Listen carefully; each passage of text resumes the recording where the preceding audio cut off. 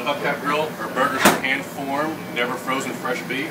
We use a hot temperature on the grill to get a good sear on the meat. All patties are hand formed.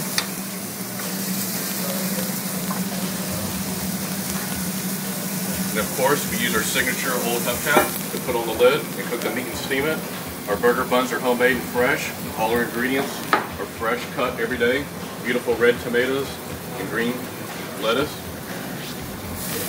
Get a good hot sear. Flip it. And cup it.